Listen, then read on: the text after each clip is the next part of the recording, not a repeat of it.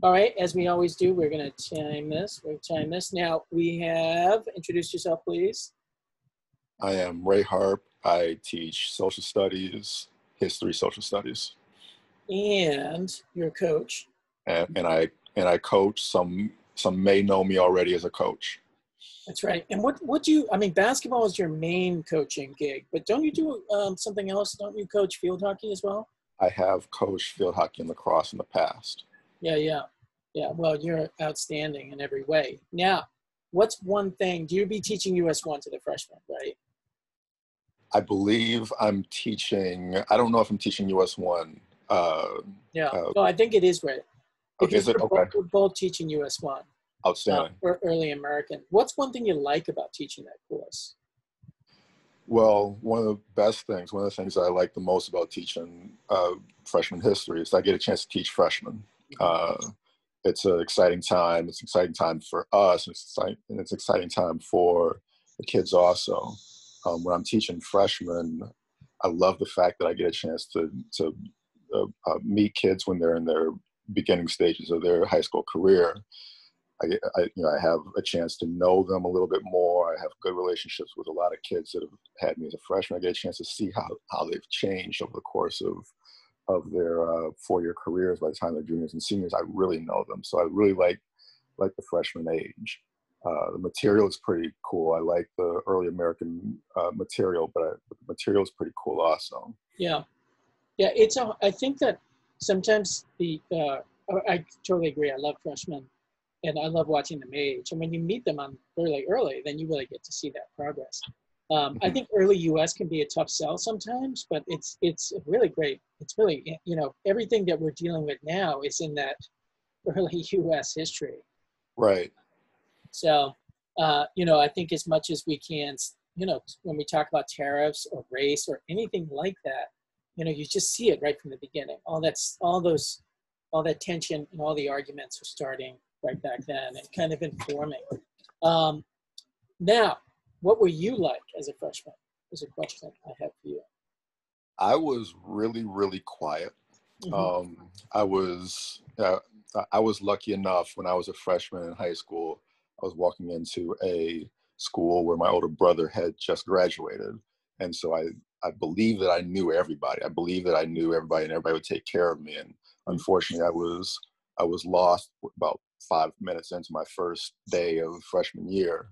yeah. But uh, uh, you know, I I was a quiet kid who wanted to try and make things work for himself that didn't always work that way. Yeah. Yeah. Yeah. Totally. Did you like history then? I did. Yeah. Yeah. Uh, uh, I think that I was more interested in trying to, uh, you know, I thought I was going to be a basketball player. I thought I was going to go out and, and meet everybody and, and know everything. But I was, uh, you know, for, for the classroom, for figuring out what was going on in the classes, uh, you know, I, I quickly learned that I could be a pretty smart kid too. Yeah, you know, um, I love being a teacher, as I know you do too. And but teaching history is such a pleasure. You know, I, I just think it's a, you know, it's just because we love it that we, and that's cool because I talk to other teachers and they just love teaching math, and I'm like, I don't know how that's possible, but they all do. And and I mean, it's a, it's a, you know, I'm also teaching AP Gov and politics this year, and it's certainly, it's a contentious time. You know, history is right there on the surface. You know, so Mhm. that's cool. Now, um, of oh, now in your room, you have, and you should take a photo of it for your for your freshman. You have basically like stuffed animal versions of, of very important historical people, right? Like a lot of Yeah. them. They're like Yeah. a lot of, they're not puppets, but they're like like beanie babies, but they're like Einstein and other people.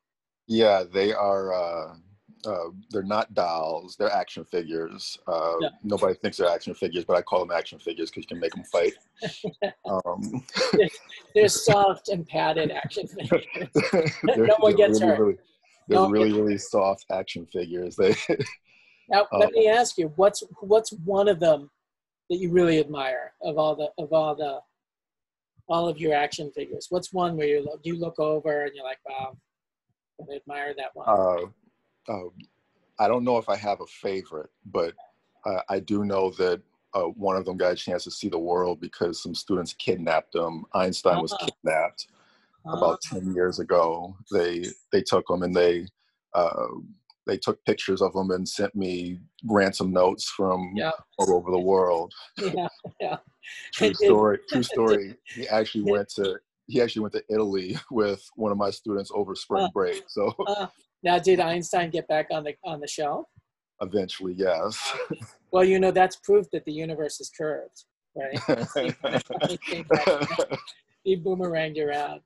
Well, Ray, thanks so much for talking with us. Any of the students who are lucky enough to have you are, are, are really good hands, and we'll see you in a, in a couple of weeks. Well, I look forward to seeing them also. Uh, again, good luck, everybody. It's a outstanding opportunity you have and a great school.